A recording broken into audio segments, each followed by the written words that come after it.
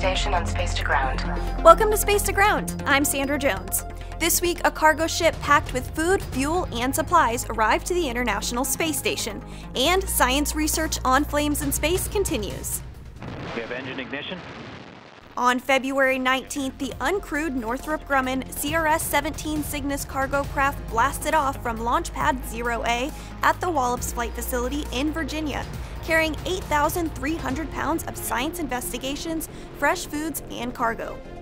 The Cygnus, named the SS Piers Sellers after the late NASA astronaut and climate scientist, arrived to the space station two days later.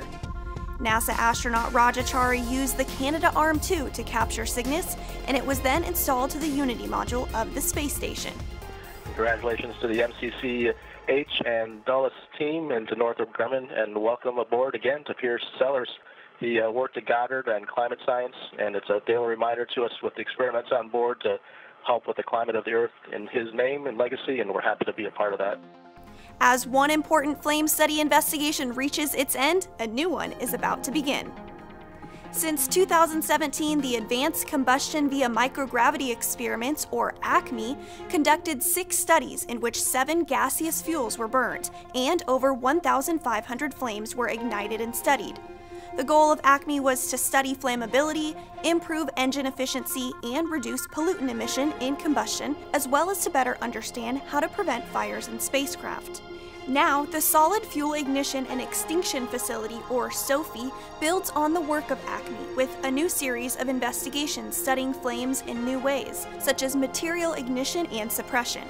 Launched aboard NG 17, SoFIE will help NASA select materials and designs for spacesuits, cabins, and habitats. The experiment will also help NASA identify the best ways to put out fires or smolder materials in space. Skin aging may be inevitable, but the unique microgravity environment of space may accelerate the rate of skin aging. A newly arrived study seeks to investigate the underlying molecular mechanisms that drive skin deterioration. The Colgate Skin Aging Investigation arrived on NG17 and consists of a model that uses human skin cells on a porous membrane to mimic the 3D organization of skin tissue. This study evaluates the cellular and molecular alterations associated with growth in microgravity compared to the normal aging process on Earth. The results from this investigation could help create and validate engineered tissue to protect aging skin heal from wounds and combat infection.